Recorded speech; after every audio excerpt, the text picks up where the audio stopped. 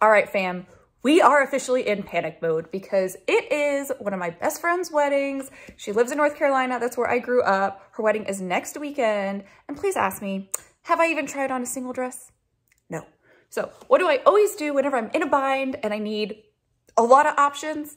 I order an ungodly amount of things from Revolve. This is not sponsored by Revolve, but literally I love Revolve because they have such a huge selection at literally every single price point and returns are so easy. I have never once had a problem with doing returns. So anytime I have a big trip, special occasion, something coming up, Revolve is where I order stuff from. So 15 dresses, $4,000 worth. I don't know if I'll be able to show them all to you because the video might be too long. So if that's the case, I'm just gonna show you the strong contenders and like maybe some of the embarrassingly bad ones just so like you can get a good laugh with me. But all dresses will be linked below in case you have a wedding coming up or maybe like a holiday party or something. Um, there should be something in here like for a lot of different occasions. It is going to be a cocktail wedding, but because it's December, I feel like long dresses are okay as long as it airs on the casual side. So we're going for casual and we are going for something that does not accentuate my food baby because I have like a perma food baby. So that's a thing, unfortunately. So let's get into the dresses and please comment below with your favorites. Love you so much. Thank you. And sorry about my double chin. All right, the first dress is the Nookie ooh, Trinity gown in the color Cherry. And I am not going to lie to you. I thought that this one might be like a contender, like in the running. It's the first one I tried. Um, but I thought it might be borderline too tight. And I'm so glad that I'm looking at it like now here on the phone because no, this is way too tight. You can see all of my organs, especially like after I would, you know, need to eat a meal. That would be even worse. I get a really bad food baby. So, you know, and I've got like a bit of a lower belly pooch anyway, as I think we all do. So even though, oh, I actually really like the neckline of it, and I really love the back. The back, I think, fits my body shape really well. I think, I think she's too tight, so she's got to go. Okay, honestly, it's just very humbling to look at these things on a phone versus in person. So this is the Lovers and Friends Bermuda dress in what they call chartreuse green, but honestly, it reads as yellow to me. This just, for so many reasons, does not work. The, bottom makes this a bit too formal, although I do like it. I think it's too formal for cocktail. I feel like I would need some type of shapewear here because right now I feel a bit lumpy. And then also, I'm showing you this because this is the story of my life. I do not have enough boobage to fill this out. I mean, story of my life. But I also want to know who does have breasts coming out, you know, directly of their armpits? Because I don't think many of you do. Like, I know my chest is small, but I don't think it's that small. So this one, oh, but wait, let me show you one thing, just because ugh, this is very nostalgic for a lot of us elder millennials. How to lose a guy in 10 days, anyone? Nostalgia? Yes. So, a lot of good things, but this just does not flatter my figure. This just makes me look wide. So, I think this one's probably going to be a no. Okay, this one actually is not horrendous. And this one does feel very appropriate for cocktail attire. This is the Roksana dress by LPA and it's in the color blush. I think I would need to figure out a different bra situation and maybe get some shapewear because as you know, most women do, I've got hip dips and I don't know if that looks very good with ruching. Also, these dresses, by trying them on, I'm just feeling like I need to not eat for all of next week in order to no, I have my little food pouch. Oh, that's so annoying. But no, I, I do like the overall effect. I think this is very pretty. Um, I also like that it's one shoulder because I will say I could not do a puffy sleeve on both sides. I think that would make me feel a little too, little too 80s. But overall, I think that this is really nice. Let me try and show you from the back. This one, I would say it's, it's in consideration, right? Let's see what else we find. All right.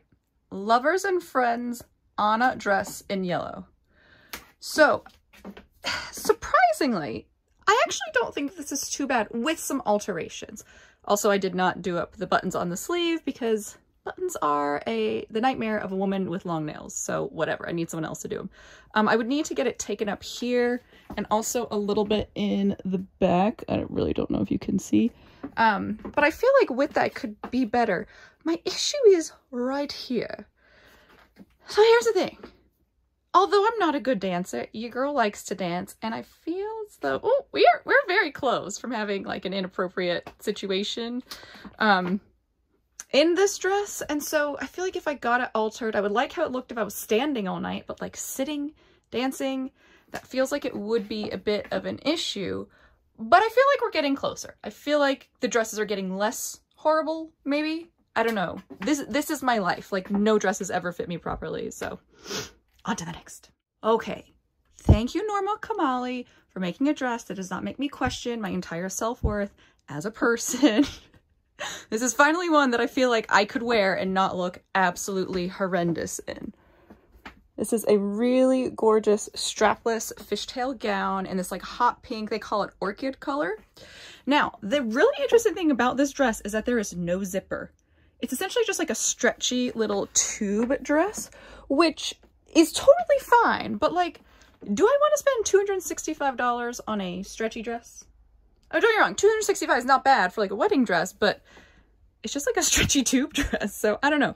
But so far, I would say out of all of them, this is my favorite. Obviously, she would need to be hemmed a little bit, but oh, thank God. Okay, at least guys, we have we have something we can wear to the wedding. But hopefully we find something that makes me like, ee, because this one also, it doesn't, it cannot eliminate my pooch. So I would love one that does. if I, if I do that, it's great. but I'd like to breathe.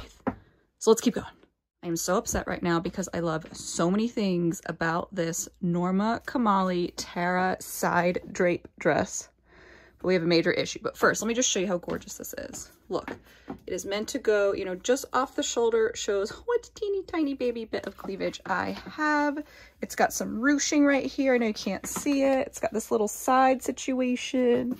I think it makes my bum look nice all good things, right? Like this would definitely be a contender, especially because I feel like this one's very cocktail appropriate. But we have a problem. First off, you know when you try on a dress and you put it on completely wrong and you just feel like such an imbecile? That will happen to you in this dress because I found out the hard way. There's a bodysuit inside of here and that's actually a fantastic idea. But the trouble is that Norma, you made it a full coverage, you know, like a brief bottom. Women with big bums cannot wear full coverage underwear without like cutting the butt cheeks like in half. So now I've got like 9,000 butt cheeks and like my hips have been cut on top of my hip dips. And so with, I mean, I think the only solution I could do would be to cut the bodysuit out, but I don't know how much that would mess up the dress. And I'm, I'm assuming the bodysuit's there for a reason. So I love this one, but like, listen guys, I got one asset. This asset and I do not want to cut it up into like all these different visible panty lines. I hate VPLs, so I'm sad because this one I was so excited about it until I figured out the bodysuit thing. Damn it. So I feel like strapless is my only friend today, which is strange because normally it's not. Um, but this is an NBD dress. It's called the Lucilda gown in I think like hot pink or something like that. Pretty, you know, standard run-of-the-mill. Reminds me of the Norma Kamali one. So it's nice, you know, nothing too special. Almost looks a bit bridesmaidy in a way, other than the color. Eh, it's fine. Absolutely not. I look like an ace bandage. This is the Elliatt Pippa dress. Hard pass. So this one's a no, but I'm showing you all because I actually think it's a really beautiful dress and I think it would definitely work for some of you all out here. So this is the Retrofete Stormy dress in black. And I don't know if you can see, it's got some really cute like little sheer cutouts here. This is a gorgeous dress. It doesn't work for me because the straps are too long here. And also it dips down in the back and it dips down so far that for me, my butt is exposed. But I think for you taller people out there, this would be a great option. And this would be something really nice that you could wear to any type of like black tie event. I mean, I think that this is really pretty. So even though it didn't work for me, I still wanted to show you guys because I really like it. Okay, so I actually really like this one.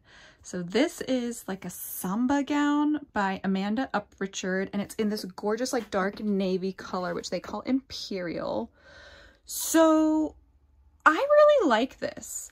I like that it's got the high neck and it kind of cuts out here because I'm a bit muscular up here and certain things can make me look bigger. And this one I feel like doesn't accentuate it like too much. Like I feel like it complements the shape of like my boulder shoulders well in a way. And I like that it's got, you know, this very light ruching across the front. Even though like it is adding volume, I feel like I'll feel like really comfortable if I'm eating dinner and stuff. Like I won't feel like I need to suck in. Also, how do we feel about that? But is that too much? Like that, that is quite, quite the slit. But I could always just put a little bit of fashion tape right here so we make sure to have any type of exposure moment. I don't know, guys. I really like this one. I feel like this is probably the best one so far. Let me show you the back. Um, it's got an open back, but not too open. My bum's not out in this one, which is good. The only trouble is that, um, again, because of long nails, I could not um, close up the back. It's got like hook and eye closures. It's got two.